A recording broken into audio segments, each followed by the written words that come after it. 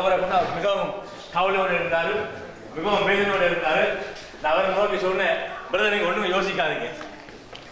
இந்த தேவ வார்த்தை உங்களுக்கு நேராக தான் வரப்போகுது.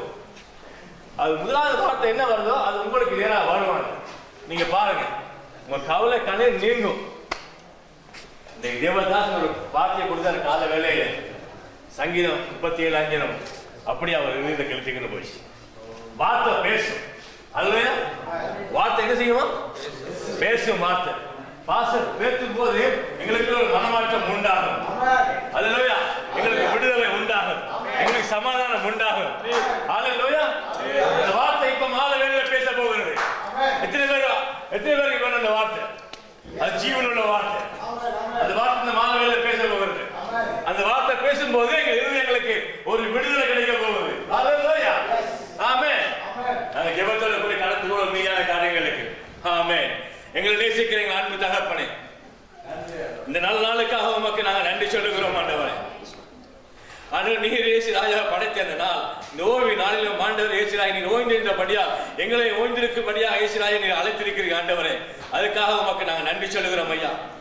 ஆண்டவர் இயேசு ராஜா நீர் எப்பவும் நேற்று இன்று மாறாத தேவனா இருக்கிறபடியா ஆண்டவரே இயேசு ராஜா காலை வேளை நீர் எப்படி எங்களோட பேசுகிறோ இந்த மாலை வேளையில் நீர் பேசும்படியா நாங்கள் செபிக்கிறோம் ஐயா ஒவ்வொரு இருதயங்களுக்கும் விடுதலை கிடைக்கும்படியாக சமாதானம் கிடைக்கும்படியாக ரட்சிப்பு கிடைக்கும்படியாக ஆண்டவர் நாங்கள் செபிக்கிறோம் ஐயா.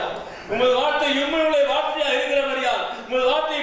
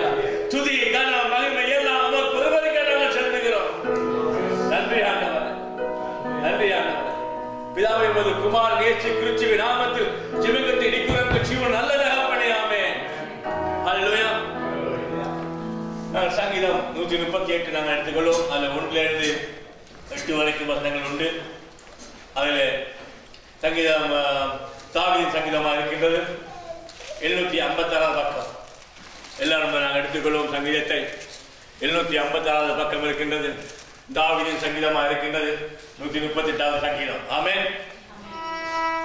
நாங்கள் எல்லோரும் சேர்ந்து வாசிப்போம் இந்த வசனங்களை உண்மை என் முழு இதயத்தோடு துதிப்பேன் தேவனுக்கு முன்பாக உண்மை கீர்த்தனை பண்ணுவேன் உமது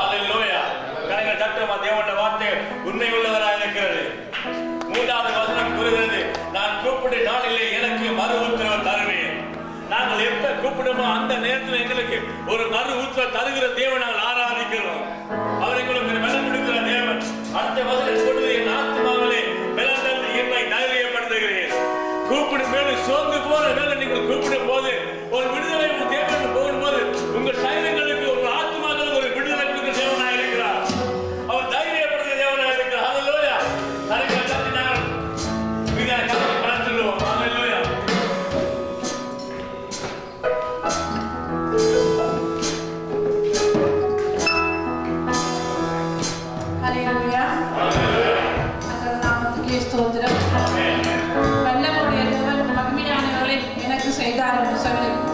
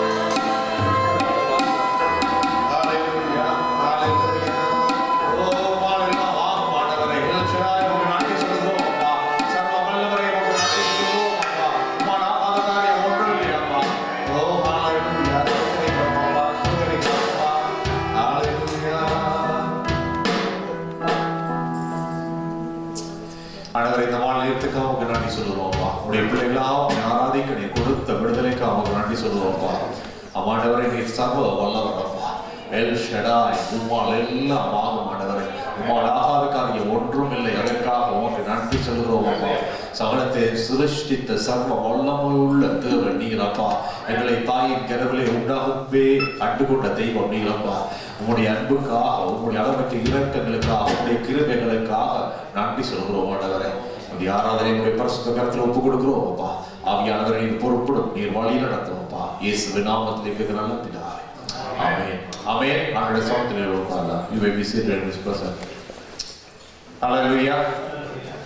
இந்த வழியில் நாங்கள் திருவிழத்திலே கலந்து கொள்வதற்காக நாங்கள் அவர்களை தயார் செய்துள்ளோம் we are going to partake in the holy communion so we will prepare ourselves for the holy communion. இதனால் ஒன்று பொருந்திய பதினோராம் அதிகாரத்தில் இருந்து சில வசனங்களை நான் உங்களுக்காக வாசிக்கிறேன். First Corinthians chapter 11 ஒன்று பொருந்திய பதினோராம் அதிகாரம் இருபத்தி மூன்றாம் வசனத்திலிருந்து நான் வாசிக்கிறேன். First Corinthians chapter 11 verse 23 onwards. நான் உங்களுக்கு ஒப்புவித்ததை கத்திரத்திலே பெற்றுக்கொண்டேன். என்னவெனில் கத்தராகிய இயேசு தாம் காட்டி கொடுக்கப்பட்ட அந்த ராத்திரியிலே அப்பத்தை எடுத்து ஸ்தோத்திரம் பண்ணி அதை பிட்டு நீங்கள் வாங்கி பூசியுங்கள். இது உங்களுக்காக பிற்கப்படுகிற என்னுடைய சரீரமாயிருக்கிறது. என்னை நினைவு கூறும்படி இதை செய்யுங்கள் என்றார். போஜனம் பண்ணின பின்பு அவர் அந்தபடியே பாத்திரத்தையும் எடுத்து இந்த பாத்திரம் என் ரத்தத்தினால் ஆகிய புதிய உடன்படிக்கையாக இருக்கிறது நீங்கள் இதை பானம் பண்ணும் போதெல்லாம் என்னை நினைவு கூறும்படி இதை செய்யுங்கள் என்றார். ஆகையால் நீங்கள் இந்த அப்பத்தை புசித்து இந்த பாத்திரத்தில் பானம் பண்ணும் போதுதான் கத்தர் வரமளவு அவருடைய மரணத்தை தெரிவிக்கிறீர்கள். இப்படி இருக்க இவன் அபாத்திரமாய் கத்தருடைய அப்பத்தை புசித்து அவருடைய பாத்திரத்தில் பானம் பண்ணுகிறானோ அவன் கத்தருடைய சரீரத்தையும் ரத்தத்தையும் குறித்து குற்றம் உள்ளவனாயிருப்பான் எந்த மனுஷனும் தன்னைத்தானே சோதித்தறிந்து இந்த அப்பத்தில் புசித்து இந்த பாத்திரத்தில் பானம் பண்ண கணவன். அவை ஆண்டவர் காட்டி கொடுக்கப்பட்ட ராத்திரியில் அப்பத்தை எடுத்து பிட்டு இது உங்களுக்கு அப்பிக்கப்பட வேண்டிய சரீரம் என்று சொன்னார். அதை போல பாத்திரத்தையும் எடுத்து ஸ்தோத்திரம் பண்ணி அவர் சொல்லக்கூடிய இருந்தது இந்த பாத்திரம் என் ரத்தினத்தினாலாகிய புதிய உடன்படிக்கை இருக்கிறது என்று அவர் சொன்னார். அவை ஆண்டவர் ஆயத்தப்படுத்தின இந்த திருவிருந்து நாங்கள் கலந்து கொள்ளும் போதெல்லாம் அவர்களுக்காகப்பட்ட பாடுகளை நாம் நினைவு கூறுவோம். whenever we come to partake we remember the things Jesus has done on the cross for us. எங்களுக்கு ஆசிரியர்கள்பட்ட பாடுகளை நாம் நினைவு கூறுவோம். அது மட்டுமில்ல அவருடைய வார்த்தையை நாம் வாசித்துவோம். அபாத்திரமாக நாங்கள் பாடம் பண்ணவோ புசிக்கவோ கூடாது நாங்களை சோதித்து ஆராய்ந்து புசிக்க வேண்டும் பாடம் பண்ண வேண்டும் என்று சொல்லப்படுகிறது. We have to examine ourselves before we partake in the holy communion. அவரோடு ஒரு ஐக்கியம் உறவு சரியாக இருக்க வேண்டும். We must have our relationship and fellowship with him. Correct relationship correct correct fellowship உடைந்து போகாத ஒரு ஐக்கியம் இருக்க வேண்டும். அப்பொழுதுதான் இது எங்களுக்கு ஆசீர்வாதமாக மாறும். அது ஒரு விஷயம் ஆண்டவரிடத்தில் எங்களுடைய வாழ்க்கையை நாங்கள் ஆராய்ந்து பார்ப்போமா? Shall we examine ourselves in front of the almighty God? ஆண்டவரே இயேசுவே இந்த நாளுக்கு அவங்க நன்றி சொல்லுவோம். உன்னுடைய சமூகத்திலே வந்தப்பா. உண்மை ஆராதிக்கிறோம் ஆண்டவரே உண்மை நினைவு கூறவும் நீ கொடுத்த கிருபைக்காக நன்றி சொல்லுவோம். மனிதர்கள் கொடுத்த ரட்சிப்புக்காக நன்றி சொல்லுவோம்மா. அனைவரே உடைய பரிசுத்த ரத்தம் உங்களுக்காக மனக்குளத்தில் மீட்புக்காக சிந்தப்பட்டதை நினைவு கூறுவோம்மா. உன்னுடைய சரீரம் நினைவு கூறுவோம் ஆண்டவரே எங்களுக்காக மனிதர்களாகிய நாங்கள் பாவத்திலே மணிபத்திரத்தில் இருந்தபோது உங்களை மீட்பதற்காக நீர்களை தேடி வந்து நாங்கள் மறைக்க வேண்டிய இடத்துல எங்களுக்கு பதிலாக மறைந்தீர் அம்மா அதுக்காக உங்களுக்கு நன்றி சொல்கிறோம்ப்பா ஆண்டவரே இந்த அப்பத்தை புசிக்கிற ஒவ்வொருவரும் இந்த பாடத்தை பாடுற ஒவ்வொருவரும் தங்களை சோதித்து ஆராய்ந்து இதை புசிக்க பாடம் பண்ண உதவி செய்ய மாட்டவர் ஒவ்வொருவரும் அமாத்திரமாக இதை புசிக்க பாடம் பண்ணவும் கூடாதுப்பா. பொருட்படுத்திக் கொள்ளும்படியா இயேசு விநாமத்திலே கேட்கிற ஆமே ஆமே இந்த வேளையிலும் நீங்கள் திருவிழத்தை கடந்து கொள்ள ஆயுதமாக இருந்தால் நீங்கள் இருக்கடத்தில் எழுந்திருக்கலாம். ஆனால் நாங்கள் தெரியும் ஆண்டவரை சொத்தராட்சி ஏற்றுக்கொண்டு இப்ப ஆண்டவருடைய வார்த்தைக்கு கீழ்ப்படுத்தி பிதாக்குமார் பிரசுதாவின் நாமத்தில் ஞானஸ்தானம் பெற்று அவரோட ஐக்கியம் இருப்பில் இருந்தால் இந்த வெயிலில் கலந்து கொள்வதற்கு எந்த விதமான தடையும் இல்லை. அப்படிப்பட்ட நீங்கள் எழுந்திருக்கும் போது கூட இந்த அடையாளங்களுக்காக நாங்கள் ஜெபித்து இது மூலத்தில் நாங்கள் பகிர்ந்து கொள்வோம். காட்டி கொடுக்கப்பட்ட ராத்திரியிலே அவர் அப்பத்தை எடுத்து அதை பிட்டு இது உங்களுக்காக பிடிக்கப்பட வேண்டிய சரீரமாக இருக்கின்றது. என்னை நினைவு கூறும்படி இதை செய்கள் என்று சொன்னார். அவை ஆண்டவராக இயேசு கிறிஸ்துனுடைய சரத்துக்கு அடையாளமாக இருக்கின்ற அப்பத்தின் ஆசீர்வாதத்துக்காக நாங்கள் ஆண்டவர்களை கேட்போம்.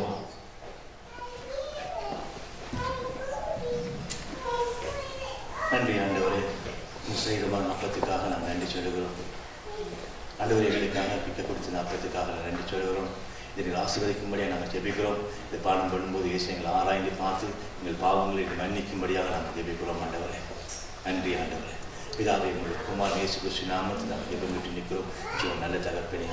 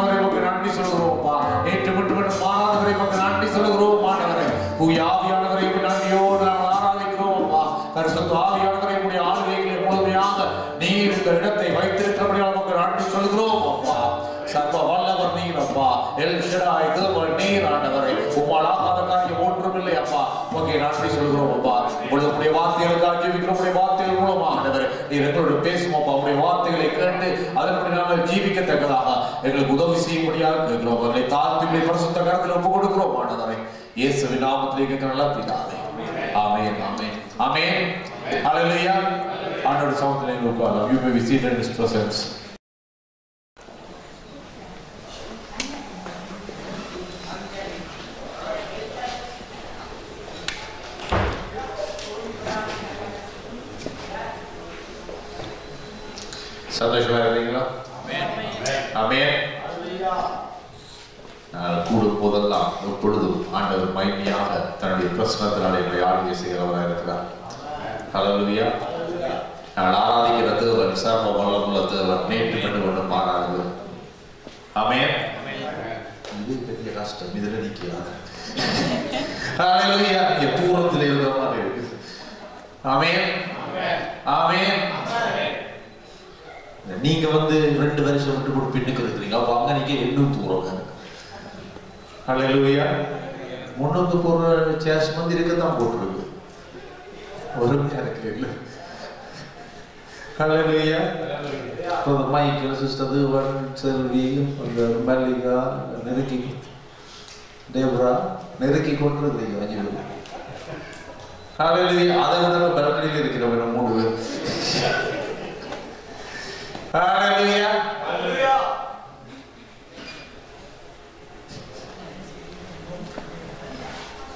நேற்று மீண்டும் மீண்டும் மாறாத தேவன் அவரால் ஆகாத காரியம் ஒன்றுமில்லை. ஆமே நாங்கள் ஆதியாமம் முப்பத்தி ஏழாம் அதிகாரத்தினால் திருப்பிக் கொள்வோம் இருந்தால் ஆதியாம் முப்பத்தி ஏழாம் அதிகாரம். உண்மையில் முப்பத்தி ஏழாம் அதிகாரத்தில் இருந்து ஆதியாம் ஐம்பதாம் அதிகாரம் வரைக்கும் தேவனுடைய ஒரு மனுஷனை குறித்து நம்ம வாசிக்கலாம். If you uh, analyze the scriptures from Genesis 37 to Genesis 50th chapter, you can read about the man of God. மிகவும் வல்லமையான தேவ மனுஷனை பற்றி நாங்கள் வாசிக்க முடியும் அது யாரும் அல்ல அத்தேவனாலேயே தேர்ந்தெடுக்கப்பட்ட தேவ மனுஷனாகிய யோசேப்பு We can read about the life of Joseph முப்பத்தி ஏழாம் அதிகாரத்தில் இருந்து அவர் தான் முப்பத்தி ஏழாம் அதிகாரத்தில் ஆரம்பிக்கின்றது.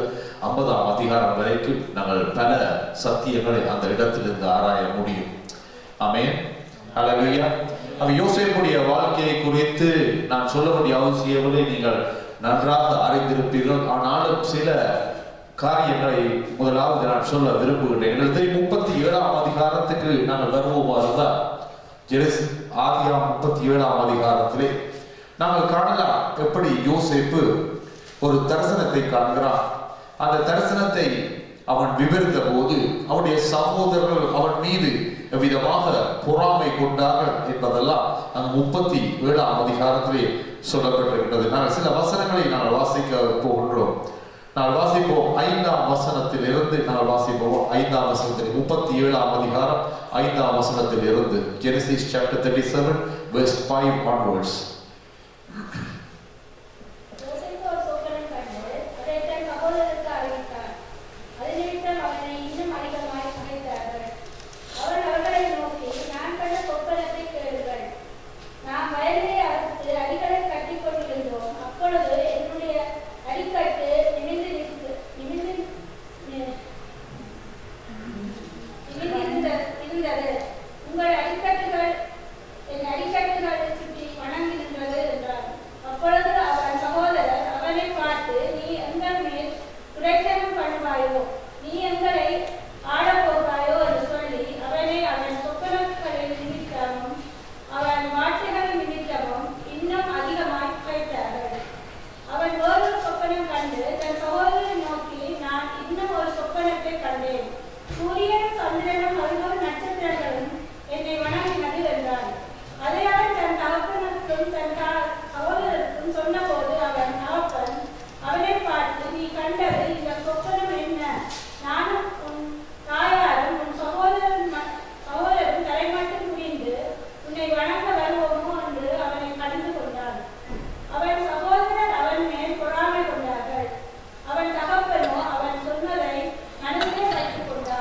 போதும் அது ஐந்தாம் அவசரத்தில் பதினோராம் அவசரம் வரைக்கும் நாங்கள் வாசிக்கும் போது அங்கு ரெண்டு சொற்படங்கள் யோசேப்பு கண்டதை அங்கு தெளிவாக அங்கு எழுதப்பட்டிருக்கின்றது அங்கு ஒரு முதலாவது சொற்படத்தில் நாங்கள் காண்கிறோம் அந்த வயலை அறுத்த அணிகளை கட்டி கொண்டிருந்த போது அவன் தன்னுடைய அலக்கு அரிக்கட்டு நிமிர்ந்திருந்தது அவன் மற்றவருடைய மற்ற தாய் தகப்பனுடைய சகோதரருடைய அணைக்கட்டுகள் எல்லாம் அவனை சுற்றி வணங்கி நின்ற முதலாவது சொற்பனத்தை காண்கிறான்.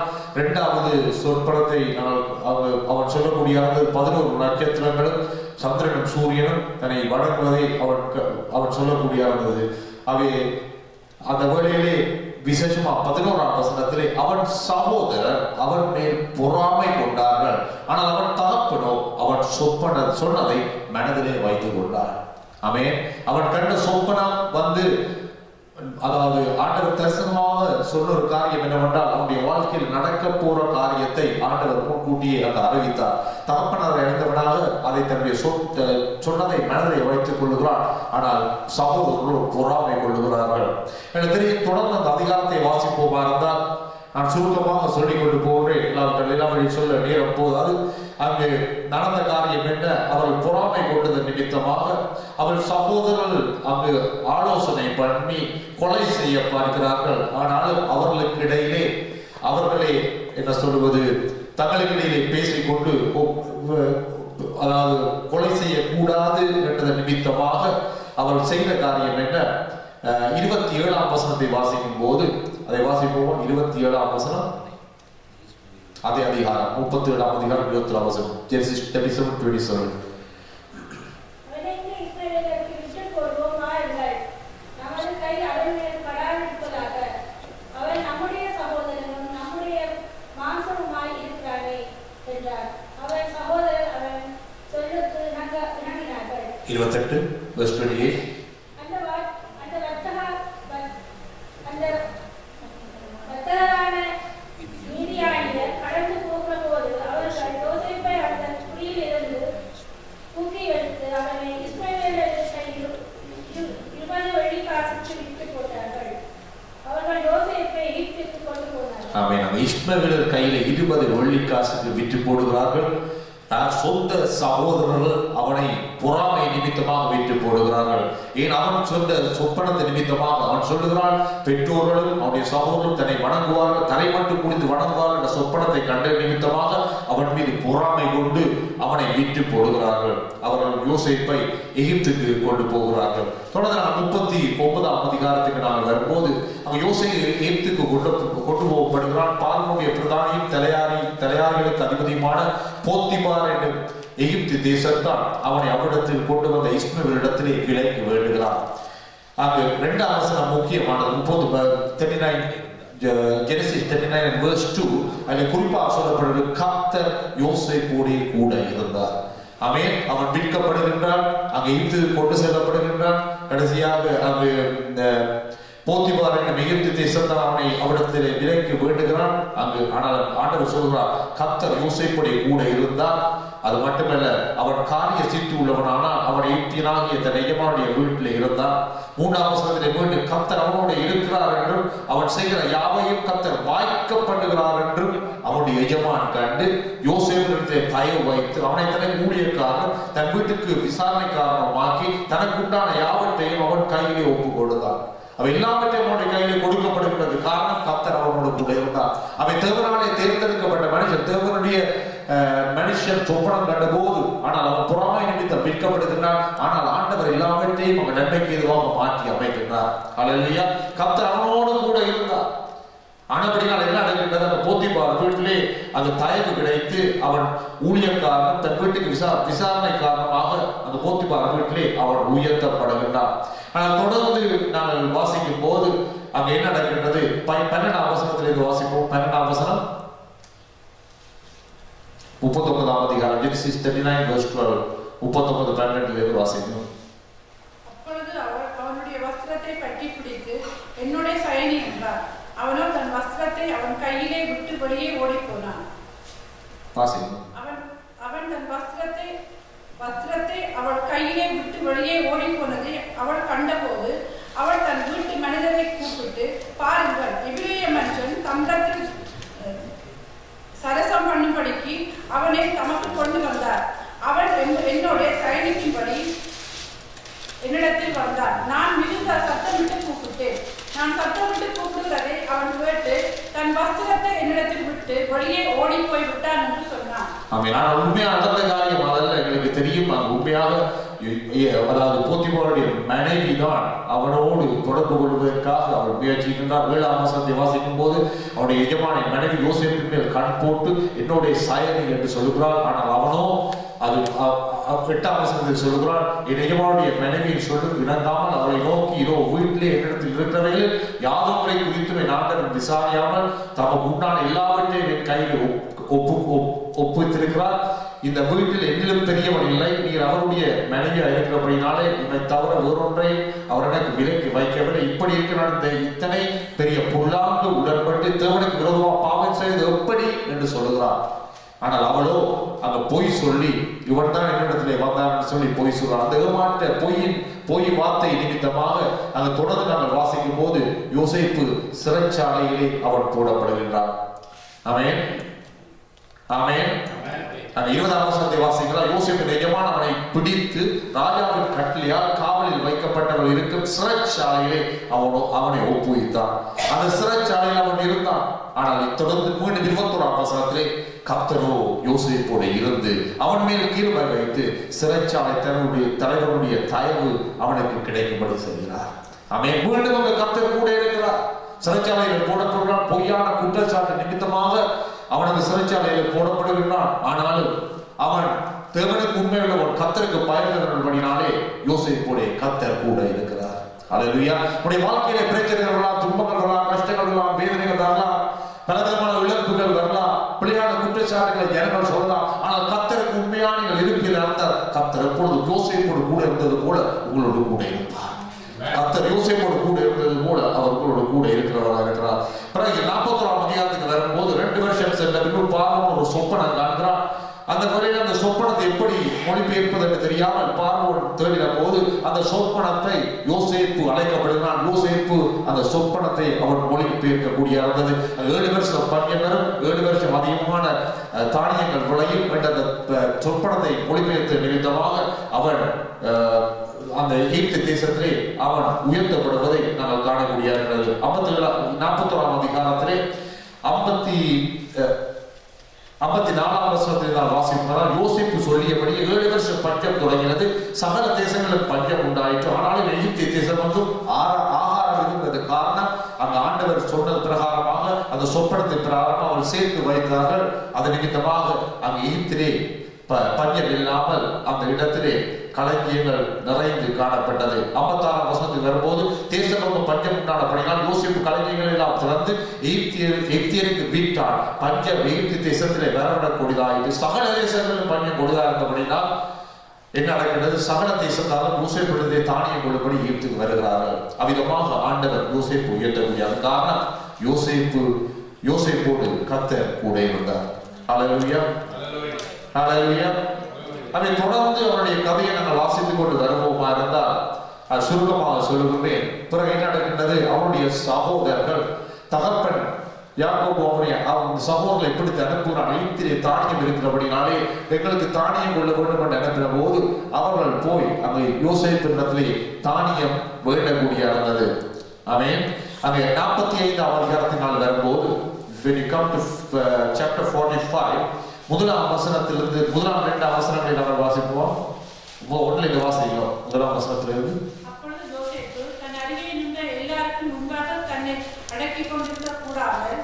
யாவரையும் என்னை விட்டு வெளியே போக பண்ணுவதற்கு கட்டளையிட்டார்.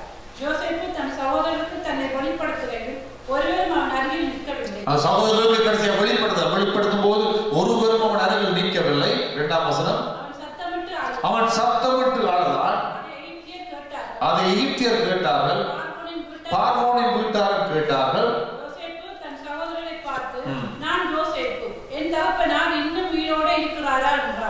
அவனுடைய சகோதரர் அவனுக்கு முன்பாக கலக்கமுற்றிருந்ததினாலே அவனுக்கு உத்தரம் சொல்லக்கூடாமல் இருந்தார்கள். அப்பொழுது யோசேப்பு தன் சகோதரரை நோக்கி என் கிட்டே வாருங்கள் அவர்கள் கிட்டே போனார்கள். அப்பொழுது அவன் நீங்கள் எகிப்துக்கு போறவிடத்தில் விட்டு போட்ட உங்கள் சகோதரனாகிய யோசேப்பு நான் தான். என்னை இவ்விடத்தில் வரு- வரும்படி விட்டு போட்டதினால் நீங்கள் சஞ்சலப்பட வேண்டாம் அது உங்களுக்கு விசனமா இருக்கவும் வேண்டாம் ஜீவ ஜீவ ரட்சணை செய்யும்படிக்கு தேவன் என்னை உங்களுக்கு முன்னே அனுப்பினார். அவன் போது அங்க யோசிப்பு தெளிவாக தன்னை வெளிப்படுத்தி சொல்லுகிறான் நீங்கள் என்னை விட்டு போட்டதுன்னு தான் சஞ்சலப்பட வேண்டாம் விசனம் அடைய வேண்டாம். ஆனால் அவன் சொன்ன அவன் அடையாளம் கண்டு கொண்ட காரியம் என்னவென்றால் இது உங்களுக்கு விசனமாக இருக்க வேண்டாம் ஜீவரச்சனை செய்யும்படிக்கு தேவன் என்னை உங்களுக்கு முன்னே அனுப்பினார் தேவனுடைய திட்டத்தின்படி தான் நான் அனுப்பப்பட்டேன். உண்மையாக நீங்கள் விட்டு போனான் அது இன்னொரு சொன்னால் யோசனுடைய இருதயத்திலே உண்மையாக அந்த சகோதரரை மன்னித்து அவர்கள் ஒப்புரவாக வேண்டும் என்ற ஒரு காரியம் அவன் உள்ளத்திலே ஏற்பட்டதை நான் காண இருக்கின்றது ஆனால் அவன் சொல்லுகிறான் நீங்கள் விட்டதை குறித்து நீங்கள் சஞ்சலப்பட வேண்டாம். விசனமனையாக இருக்க வேண்டாம். தேவன் தான் என்னை அனுப்பினார். தன்னுடைய வாழ்க்கையிலே தேவன் கூட இருந்ததை நம்ம யோசிப்பு அடையாளம் கண்டுகொண்டு தன்னுடைய சகோதரருக்கு தன்னை வெளிப்படுத்துவதை நாங்கள் காண முடியாது என்றது ஹalleluya அவை தொடர்ந்து அந்த சம்பவங்களை நீங்கள் வாசிக்க முடியும். ஆனால் இந்த நாளிலே நான் ஐம்பதாம் அதிகாரத்தின் கடைசி அதிகாரத்துக்கு நான் கடந்து வருகின்றேன் நான் கடைசி அதிகாரத்துக்கு வருவோமா இருந்தால் ஐம்பதாம் அதிகாரத்திலே very come come to Genesis chapter fifty ஐம்பதாம் அதிகாரத்திலே பதினைந்தாம் வசனத்தில் இருந்து இருபத்தி ஓராம் வசனம் வரைக்கும் நான் வாசிக்க போறோம். ஜெனிசிஸ் சாப்டர் 50 verses 15 to 21 ஆ- ஆதியாகமம் ஐம்பதாம் அதிகாரம் பதினைஞ்சிலிருந்து இருபத்தொன்று வரைக்கும் அங்க என்ன நடக்கிறதுன்னா அங்கு தகப்பன் மரணம் அடைந்த பின்பு யோசேப்புடைய சகோதரர்கள் யோசேப்பை எப்படி அணுகுகிறார்கள் அவர் யோசேப்பு என்ன செய்கிறார் என்பதை தான் அந்த போதை நான் வாசிக்க போகிறோம் அதை வாசிப்போமா? தங்கள் தகப்பன் மரணமடைந்ததை யோசேப்பின் சகோதரர் கண்டு ஆ, தம்முடைய தகப்பன் மரணமடைந்ததை யோசேப்பின் சகோதரர்கள் கண்டு ஒருவேளை யோசேப்பின் நம்மை அப்ப அவர்கள் யோசிக்க ஒருவேளை இப்ப தகப்பன் மறிச்சிட்டா அப்ப ஒருவேளை யோசிப்புகளை மீண்டும் பகைப்பாரோ? ஒருவேளை யோசிப்புகளை பகைத்து நாம் அவனுக்கு செய்த எல்லா பொல்லாங்குக்காகவும் அவர்களே தங்களுடைய உள்ளத்தில் குற்றப்படுகிறார்கள். நாம் அவனுக்கு செய்த எல்லா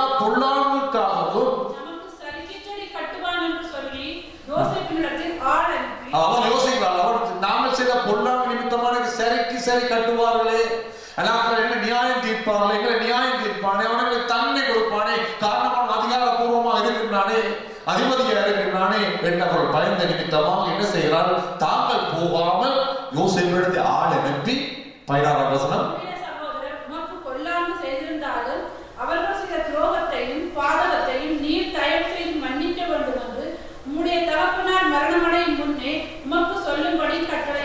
சொன்ன காரியம் பார்த்தீங்கன்னா அவர்கள் சொல்லையில நாங்கள் பிளஸ் மன்னிங்கன்னு கேட்கல அவர் சொல்றாரு தகப்படம் போடுறாங்க.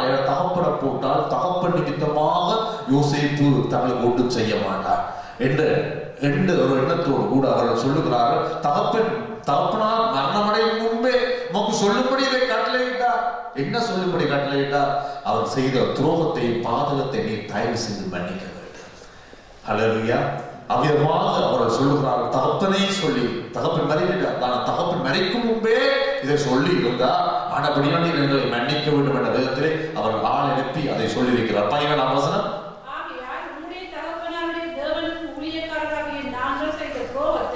மன்னிக்க வேண்டும் என்று அவனுக்கு சொல்லச் சொன்னார்கள்.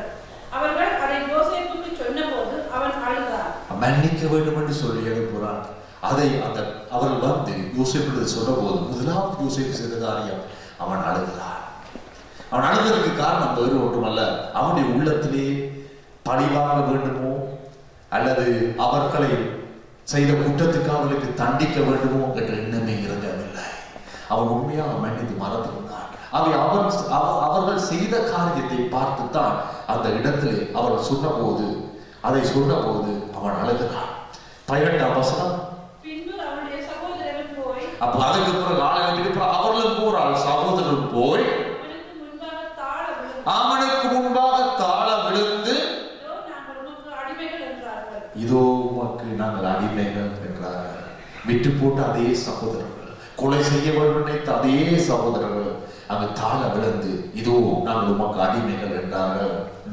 பத்தொன்பதாம் வசனம். யோசேப்பு அவர்களை நோக்கி பயப்படாதீர்கள் நான் தேவனா? யோசேப்பு அவர்கள் எனக்கு சொல்றார்? பயப்படாதீர்கள்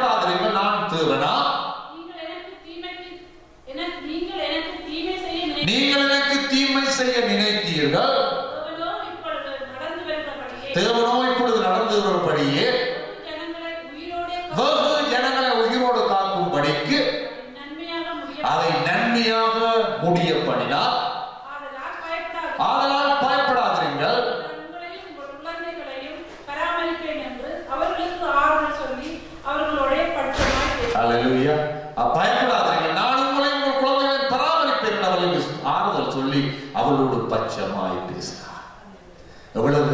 ஆதலால் ஒரு சத்தியம். அல்லேலூயா. அவ இந்த பத்தொன்பதாம் வசனத்தில் இருபத்தோராம் வசனத்தில் இருந்து சில காரியங்களை உங்கள் முன்பாக நான் வைக்க விரும்புகின்றேன். அல்லேலூயா. எனக்கு நான் விழுந்து போன மனுஷன் பாவம் செய்ய நிமித்தமாக தேவனை விட்டு பிரிந்த உலகத்திலே நாம் வாழ்கிறோம். அப்படிப்பட்ட உலகத்திலே வாழ்கிற பணியினாலே நாளுக்கு நாள் அணு தினமும் உங்களுடைய வாழ்க்கையிலே பல விதமான மனிதர்கள் பேசுகிற வார்த்தைகள் நிமித்தமாக எங்கள் இருதயங்கள் புண்படலாம். அல்லது மற்றவர்களுக்கு செய்கிற காரியங்கள் நிமித்தமாக மற்றவர்கள் மீதுகளுக்கு அதாவது அவர்களை பழிவாங்க வேண்டும் என்ற நோக்கம் கூட எங்களுடைய வாழ்க்கையில வர முடியும். ஆனால் இந்த சம்பவத்தில் இருந்து சில சத்தியங்களை நாங்கள் கண்டுகொள்ள முடியும். முதலாவதாக பத்தொன்பதாம் வசனத்தில் யோசிப்பு அந்த சம்பவம் நோக்கி சொல்கிறான் பயப்படாதிருங்கள் நான் தேவனா? பயப்படாதிருங்கள் நான் தேவனா? First of all Joseph was saying to not be fear am I God நான் தேவனா? என்று அவனோட ஒரு கேள்வியை கேட்பதை நாங்கள் காணக்கூடிய இருக்கிறது அல்லேலூயா அல்லேலூயா அதான் அதான் இன்னொரு விதமா சொன்னா தேவனுடைய இடத்திலே என்னையும் வைத்தீர்கள். Am I in the place of the Almighty God நான் தேவனுடைய இடத்தில் இருக்கிறான். நான் தேவன் இல்லை. இன்னும் அதை விவரித்தால் அவர் என்ன சொல்கிறார் என்றால் நியாயம் தீர்ப்பது தேவன். நான் சாதாரண நான் தேவனா என்ற விதத்திலே அந்த யோசேப்பு தன்னுடைய சகோதரத்திலே அவன் கேட்கிறான். Hallelujah. ரோமர் 12ஆம் அதிகாரத்திலே 19ஆம் வசனத்தை வாசிப்போமா இருந்தா ரோமன் chapter 12 and verse 19 ரோமர் 12ஆம் அதிகாரம் 19ஆம் வசனம்.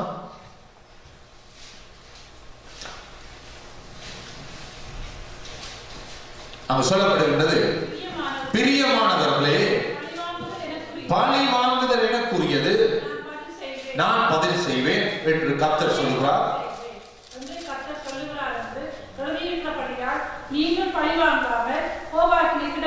நீங்கள் நீங்கள் பழி வாங்காமல் கோவாக்கிட கிடங்கள் பழி வாங்கல் யாருக்குரியது கர்த்தருக்குரியது கர்த்தர் தான் பழி வாங்குகிறார். அவனுடைய தான் யோசிப்பு சொல்றான் பயப்படாதீர்கள் நான் தேவனோ நான் தேவனோ என்று அவன் கேட்கிறான்.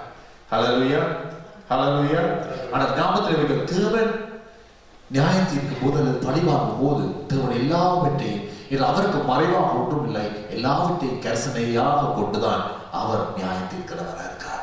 தேவனுடைய வார்த்தையில் சொல்லப்படும் அவர் நீதியுள்ள நியாயாதிபதி. அவர் நீதியுள்ள நியாயாதிபதி. அது மட்டுமல்ல அவர் பட்சபாதம் செய்கிற தேவன் அல்ல. அவர் நீதியாக இப்பொழுது நியாயம் தீர்ப்பார். ஹalleluya அதை அவன் யோசித்து சொல்லுகிறான் நான் தேவனா? நான் தேவனா? Hallelujah. You must remind ourselves. He was saying, Am I in the place of God? நீதி நியாயம் செய்கின்ற நீதியுள்ள நியாயாதிபதி ஒருவர் உண்டு. அவர் வேறு ஒருவர் நல்ல ஆண்டவர் மட்டும்தான் நீதியுள்ள நியாயாதிபதி. அவரால் சர்வ வளம் ஒரு தேவன். Hallelujah. எனக்கு தெரியும் பிசாசானவன் தேவனுடைய இடத்தை தேவனை போல மாறுவது சிந்தித்து நிமித்தமாக அவனுக்கு ஏற்பட்டது எங்களுக்கு தெரியும். நடந்தது? தேவ சமூகத்தில் தள்ளப்பட்டார். அவர் தேவனுடைய இடத்தை மனிதர்களால் யாமல் எடுக்க முடியாது பழி வாங்குதல் அவருக்குரியது நியாயம் தீர்ப்பது அவருக்குரியது இரண்டாவது காரியத்தை நான் பார்ப்போம் இருந்தால் இரண்டாவதாக இருபதாம் வசனத்திலே முதல் பகுதியால் பார்க்கிறோம். அந்த ஜோசப் சொல்றார் நீங்கள் எனக்கு தீமை செய்ய நினைத்தீர்கள். Verse 20 secondly Joseph said you intended to harm me. நீங்கள் எனக்கு தீமை செய்ய நினைத்தீர்கள். நீங்கள் எனக்கு தீமை செய்ய நினைத்தீர்கள். இன்னொரு அவர் சொன்னார் தன்னுடைய உள்ளத்திலே ஏற்பட்ட காயங்கள். அவர் நிமித்தமாக தான் போன பாதை. எப்படி எகிப்தியருக்கு விற்கப்பட்ட காரியம்? எப்படி சிறைச்சாலையில் இருந்த காரியம்? எத்தனையோ வருடங்கள் சிறைச்சாலை வைக்க வேண்டி இருந்ததே. அந்த காரியங்கள் அந்த வேதனைகள் ஒன்றையும் பார்க்காமல். சொல்ற நீங்கள் தேவை தீமை செய்ய நினைத்தீர்கள். அவனுடைய அஹ், அவனுடைய கவனம் அந்த தீமையை பார்க்கவில்லை. அவன் அவர்களுக்குள்ளே அவர்களை மன்னிக்க வேண்டும் என்றுதான் அவன் நோக்கி பார்க்கக்கூடிய இருக்கின்றது எங்களுடைய வாழ்க்கையிலும் நாங்கள் அன்னை தினமும் வாழ்க்கையிலே தீமைகளை நாங்கள் மூலம் முகம் கொடுக்கலாம். அந்த மற்றவர்களுக்கு பேசுகிற வார்த்தைகள் நிமித்தமாக மற்றவர்களுக்கு செய்கிற காரியங்கள் நிமித்தமாக எங்களுடைய உள்ளங்களே காயங்கள் ஏற்படலாம். ஆனால் உண்டு அறிந்து கொள்ளணும் எங்களுடைய வேதனைகளை மற்றவர்கள் புரியாவிட்டால் ஆண்டவர் புரிவார் மனுஷனோ முகத்து மனு- மனு- மனுஷனோ முகத்தை பார்க்கிற ஆண்டவர் இருதயத்தை காண்கிற தேவனாக இருக்கிறார். அழலுயா அழலுயா இன்னொரு காரியத்தை அறிந்து கொள்ள வேண்டும். நாங்கள் படுகிற வேதனைகள் கண்ணீர்கள் அல்லாவிட்டால் காயங்கள் எல்லாவற்றுக்காகவும் தான் ஆண்டவர் இயேசு சிலுவையிலே தன்னுடைய ரத்தம் சிந்தி எங்களுக்கு பதிலாக மறித்தார். எங்களுடைய பாவங்களையும் அக்கிரமங்களையும் அவர் சுமந்து கொண்டார் எங்களுடைய வேதனைகள் அவருக்கு தெரியும். நீங்கள் இந்த நாளில் போகிற பாதை அவருக்கு தெரியும். மற்றவர்களால் ஏற்பட்ட காயங்களுக்கு நிமித்தமாக மற்றவர்களுக்கு தீமை செய்ய நினைத்திருந்தால் தீமை செய்தது நிமித்தமாக நீங்கள் புண்பட்டு இந்த இடத்துல இருந்தால் ஆண்டவர் இயேசு எல்லாவற்றையும் நன்மைக்கு இதோ மாற்று மறந்து அது மட்டும் இல்லாமல் எல்லாவற்றையும் சிலுவையில் ஒழுங்காக சுமந்து வைத்திருக்கிறார். அவை யோசிப்பு சொல்லுகிறான் நீங்களோ எனக்கு தீமை செய்ய நினைத்தில் மூன்றாவதாக அவன் தொடர்ந்து சொல்றான் இருபதாம் வசனத்திலே திருமணம் இப்பொழுது நடந்து வருகிறபடியே வெகுஜனங்களை உயிரோடு காக்கும் படிக்கு அதை நன்மையாக முடிய பண்ணினார் மூன்றாவது காரியம் என்னவென்றா தேவன் அதை நன்மையாக மாற பண்ணினார் நீங்கள் தீமை செய்ய நினைத்தீர்கள். தேவன் முழு படத்தை பார்த்து அதை நன்மையாக மாற பண்ணினார் Thirdly, Joseph said, but God intended it for good. இந்த இடத்தில் தான் சர்வ வளமுள்ள தேவனை நாங்கள் காண்கிறோம். We can see the sovereignty of God. அவர் சர்வ வளமுள்ள தேவன். எல்லாவற்றையும் அடைந்தவர் அவருக்கு ஆரம்பமும் இல்லை முடிவும் இல்லை. அவர்தான் எல்லாவற்றையும் கட்டுப்பாட்டுகளை வைத்திருக்கிறார். அல்லேலூயா அவர் யோசிப்புடைய வாழ்க்கை நடந்த சம்பவங்கள் அவர் நோக்கத்தை வைத்திருந்தார். அவர் உங்களுடைய வாழ்க்கையில் நீங்கள் போகிற பாதையிலே இன்று நீங்கள் அறியாவிட்டால் அறிந்து கொள்ள வேண்டும். தேவனுக்கு உண்மையுள்ளவராக நீங்கள் இருந்தால் அந்த சிவன் எல்லாவற்றையும் மறைந்தவர் எல்லாவற்றையும் நன்மைக்கு ஏதுவாக அவர் மாட்டுகிறவராக நம்ம தெரிந்த ஒரு வசனம் ரோமர் எட்டாம் அதிகாரம் இருபத்தி எட்டாம் வசனத்தை வாசிப்போமா இருந்தா ரோமர் எட்டாம் அதிகாரம் இருபத்தி எட்டாம் வசனம் ரோமர் சாப்டர் எயிட் அண்ட் verse 28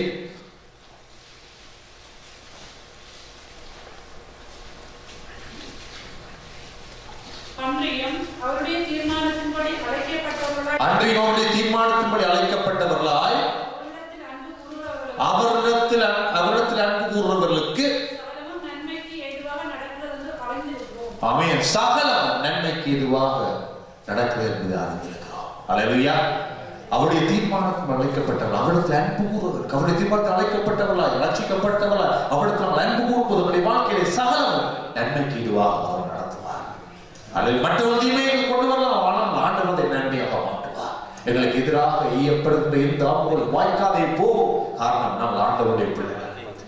அவர் சர்வ வளம் உள்ளது நீங்கள் தெரியும் இருபத்தி இறைமையா இருபத்தி ஒன்பதாம் அதிகாரத்தில் பதினோராம் வசனம் பல பேருக்கு மனப்படமா தெரியும். Jeremiah chapter twenty nine and verse 11 அதில் சொல்லப்படும் நீங்கள் எதிர்பார்த்திருக்க முடியும் உங்களுக்கு கொடுக்கும்படிக்கு நான் உங்கள் பேரில் நினைத்திருக்கிற நினைவுகளை அறிவேன் என்று கத்தர் சொல்லுகிறார். அவைகள் தீமைக்கல்ல சமாதானத்துக்கு எதுவான அலலுயா ஆண்டவர் சமாதானத்துக்கு ஏதோ நினைவுகளை தான் எங்களை குறித்து அவர் வைத்திருக்கிறார் வெளிப்படுத்தின விசேஷத்திலும் இருபத்தி ஓராம் அதிகாரம் Revelation chapter twenty one and six அதை வாசிப்போமா இருந்தால் அந்த ஆண்டவரை பற்றி சொல்லப்படுகின்றது.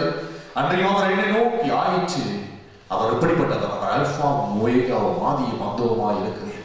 தாகமாக இருக்கிறவர்களுக்கு நான் ஜீவதனை இலவசமாக கொடுத்தேன்னு சொல்கிறார். ஆமாம் ஆமே அவருடைய சர்வ வல்லமை ஆரம்ப முடிவில்லாத தேவன் அந்த தேவன். எல்லாவற்றையும் அறிந்த தேவன். குலோசியர் முதலாம் அதிகாரத்தில் பதினாறாம் பதினாறாம் வசனங்களை வாசிப்போம். Colossians chapter one verses sixteen and seventeen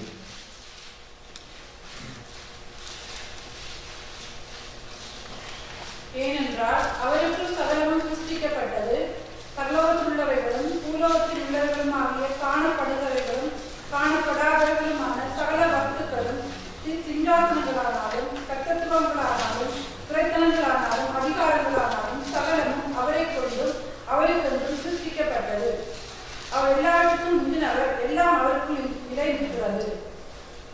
ஆமே. எல்லாவற்றையும் முந்திரவர் அதாவது எல்லாவற்றையும் அவர்தான் சிருஷ்டித்தார் எல்லாம் அவருக்குள்ளே நிறைவேற்றார் அவருக்குள் தான் நாங்கள் இருக்கிறோம். அலைவியா துறை திருநாள் சகலம் அவரை கொண்டு அவருக்கென்று சிருஷ்டிக்கப்பட்டது எங்களையும் அவருக்கென்று அவர் சிருஷ்டி வைத்திருக்கிறார். ஆமென் எங்களையும் அவருக்கென்று தான் அவர் சிருஷ்டி வைத்தார் தேவன் எல்லாவற்றையும் அறிந்தவர். தேவனுடைய ஞானம் தேவனுடைய அறிவு. எங்கள் எண்ணங்களுக்கு அப்பாற்பட்டு ரோமர் பதினொன்றாம் அதிகாரம் பதிமூணாம் வருஷம் முப்பத்தி மூணாம் வருஷத்தை வாசித்தால் Roman chapter eleven verse thirty three அதில் சொல்லப்படுகிறது தேவனுடைய ஐஸ்வர்ய ஞானம் அறிவு என்பது நாளும் எவ்வளவா இருக்கிறது.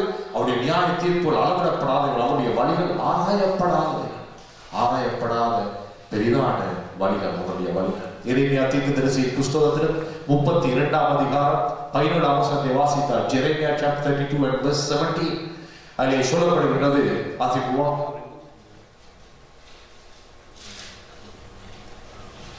ஆ- ஆ கர்த்தராகிய ஆ கர்த்தராகிய ஆண்டவரே இதோ தேவனே உம்முடைய ம- மகா பலத்தினாலும் இதோ தேவரே உடைய மா நீட்டப்பட்ட உடைய புயத்தினாலும் வானத்தையும் பூமியையும் உண்டாக்கி ஆமென் வானத்தையும் பூமியையும் உண்டாக்கினீர் உம்மாலே செய்யக்கூடாத அதிசயமான காரியம் ஒன்றும் உம்மாலே செய்யக்கூடாத அதிசயமான காரியம் ஒன்றும் இல்லை அவரால் எல்லாம் செய்ய முடியும் nothing is impossible to him everything is possible to him hallelujah hallelujah அவர் சர்வவல்லம் உள்ளவர் ஆதியம் வந்தவர் ஆனவர் பிசாசு கூட எனக்கு தெரியும் இந்த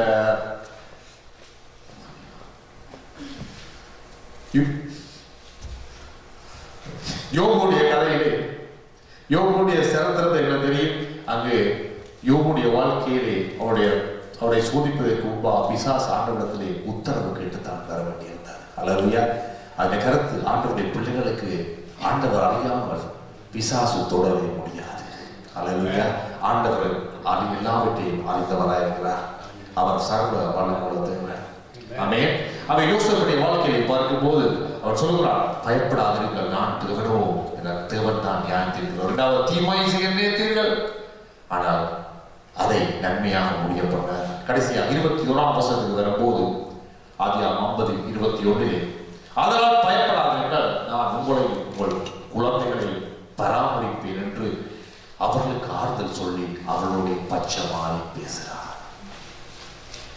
பராமரிப்பேன் என்று சொல்லி ஆறுதல் சொல்லி பட்சமாய் பேசுகிறார் ஹalleluya இது ரெண்டு மூன்று விதமான காரியங்களை நான் காண ஒன்று நியாயம் தீர்க்கிற ஒரு மட்டம் எங்களுடைய வாழ்க்கையில் மற்றவர்கள் குற்றம் செய்யும் போது நாங்கள் சிலவில் நியாயம் தீர்க்கிற மட்டத்தில் இருக்கிறோம். எங்களை அறியாமலே ஒருவர் ஒரு காரியத்தை சொன்னால் அல்ல ஒருவர் ஒரு வார்த்தை எப்படி பேசினால் அவர் இப்படிப்பட்டவர் அவர் அப்படிப்பட்டவர் நாங்களே நியாயம் தீர்க்கிறோம். அந்த நியாயம் தீர்க்கிற வேலை இன்று அந்த வேலை என்று தெளிவாக அறிந்து கொள்வோம் தேவனுக்குரியது அந்த மட்டத்தில் நாம் இருக்கக்கூடாது. ரெண்டாவது நாங்கள் பார்க்கிறோம் யோசிப்புடைய வாழ்க்கை அவன் செய்த காரியம் என்ன? அவள் வந்த போது அவள் சொல்கிறாள் நீங்கள் எனக்கு தீமை செய்ய நேரத்தில் ஆனால் திருவன் நன்மையாக மாற்றினார். அதில் இனத்தை காண்கிறோம் இருந்தால் அவளுக்கு உதவி செய்வதற்காக அவன் இரக்கம் பாராட்டு எங்களுடைய தேவனும் இரக்கம் உள்ள from the the judgment the second second is the the mercy அவன் இரக்கம் பாராட்டுகிறான். அல்லேலூயா தேவன் இரக்கம் உள்ள தேவன். அதை விட இருபத்தோராம் வருஷத்தில் நடக்கிற இன்னொரு சம்பவம் என்ன? அவன் சொல்லுகிறான் உங்களுடைய குமாரனையும் நான் உங்கள் உங்கள் உங்கள் குழந்தைகளையும் பராமரிப்பேன் என்று அவர்களுக்கு ஆறுதல் சொல்லி அவர்களோடு பட்சமாய் பேசினார்.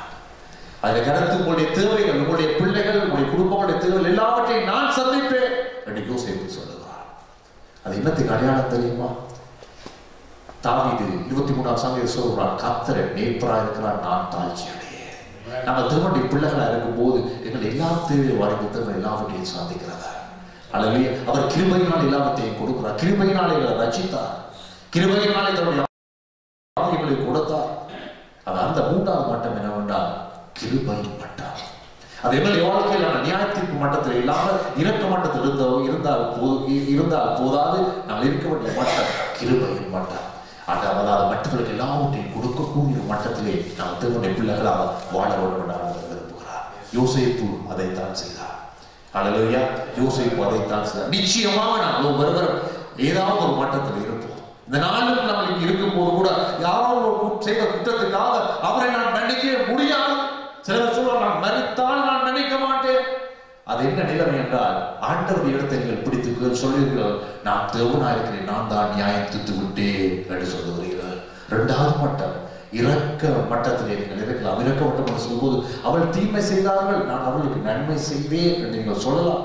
ஆனால் அவர்களை காணும்போது பழைய எண்ணமே இல்லாமல் பழைய ஒப்புரவாக இல்லாமல் ஏதோ ஒழுங்கி அவர்கள் ஏதாவது அவள் தங்கள் பாக்கை பார்க்க நாங்கள் எங்கள் பாட்டு நீங்கள் வாழ்றது அது ஒரு இரக்கம் பாராட்டி வீட்டில் மன்னித்து விட்டு அந்த மட்டம் அதை விட மேலான மட்டம் கிருபை மட்டம் என்று சொல்லும்போது அவர்களை பராமரிக்கக்கூடிய அளவுக்கு அந்த அன்பு கடந்து செல்கிறது. அதைத்தான் ஆண்டவர் இயேசு செய்தார்.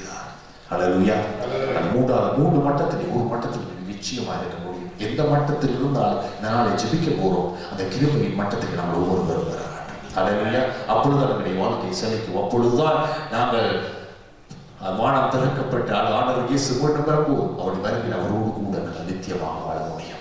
நாங்கள் எழுந்து நின்று ஆண்டவர் நான் நோக்கி பார்க்க போறோம். இந்த வாசகங்களை நீங்க தயவு செய்து அஹ், முப்பத்தி ஏழாம் அதிகாரத்துக்கு ஐம்பதாம் அதிகாரத்தை வீட்டிலே போய் வாசியுங்கள். குறிப்பாக இந்த ஐம்பதாம் அதிகாரத்தில் சொல்லப்பட்ட பதினைஞ்சாம் வசனத்தில் இருபத்தொராம் வசனம் வரைக்கும் மீண்டும் வாசியுங்கள். ஆண்டவர் உங்களோடு தொடர்ந்து பேசுவார். அல்லேலூயா ஹalleluya. ஆண்டவரை நோக்கி நாங்கள் கண்களை மூடி தலைகளை சாய்த்து ஆண்டவர் நோக்கி நாங்கள் ஜெபிப்போமா? எந்த மட்டத்தில் இந்த நாளில் இருக்கிறீர்கள்? எந்த மட்டத்தில் நீங்கள் இருக்கிறீர்கள்? நாம் தேவனோ என்று யோசிப்பு கேட்டானே. நாம் தேவனோடு அவன் கேட்டதற்கு காரணம் அவன் நியாயம் தீர்க்க விரும்பவில்லை. ஆனால் நாங்கள் உங்களை அறியாமலோ அல்லது உங்களை அறிந்தோ வார்த்தைகளை கேட்டுவிட்டு மீண்டும் ஜனங்களை நியாயம் தீர்த்துக் கொண்டிருக்கிறார் இவர் அப்படி சொன்னார் அவர் அப்படி சொன்னார் இவர் என்னை பற்றி இப்படி பேசினார் ஆனபடியாலே நான் அவரை மன்னிக்க முடியாது நியாயம் தீர்த்துக் கொண்டிருக்கலாம் அதை நாம் செய்வோம் தேவனை போல எங்களை மாற்றுகிறோம். தேவனை போல நான் ஆக வேண்டும் என்று பிசாசு சொன்ன போது தேவ சமூகத்தில் தள்ளப்பட்டானே. நான் அந்த நிலைமைக்கு போகக்கூடாது.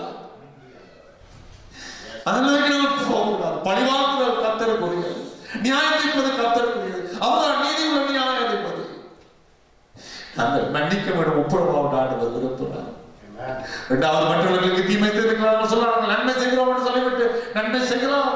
ஆனாலும் அவர்களை ஒரு தூரத்திலே வைத்து விட்டு நாங்கள் வாழ்ந்து கொண்டிருக்கலாம். அந்த நிலைமையை மாண்டவர் உறவினார் அந்த நிலைமையிலிருந்து கிருபை நிலைமைக்கு வர வேண்டும். அவர்களுக்கு எதை தேவையான நிலைமை செய்ய ஆயத்தார் அவர்களை முழுமையாக பராமரிக்கத்தக்க நிலைமைக்கு நாங்கள் வர வேண்டும் என்று ஆண்டவர் விரும்புகிறார். இந்த வாழ்க்கை ஆண்டவர்களுக்கு ஒப்புக் கொடுப்போம்? ஆண்டவரிடத்தில் ஒப்புக் கொடுப்போம்? அல்லது ஆண்டவர்கள் பேசுவோம் உள்ள அவருக்கு அவருக்கு மறைவா ஒன்றும் இல்லை அவர் சர்வகுலம் எல்லாவற்றையும் அறிந்தவர். எல்லாவற்றையும் அறிந்தவர். அல்லது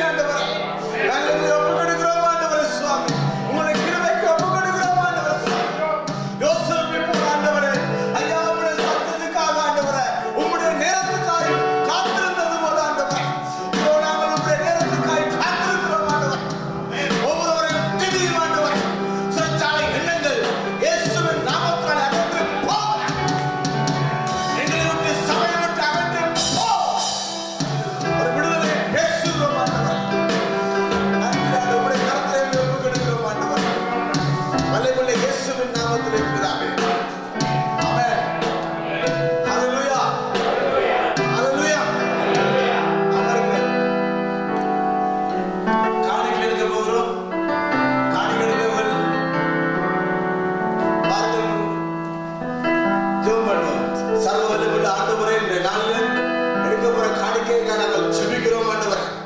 காணிக்கையை ஆசீர்வதிக்கும்படியாக நாங்கள் செபிக்கிறோம்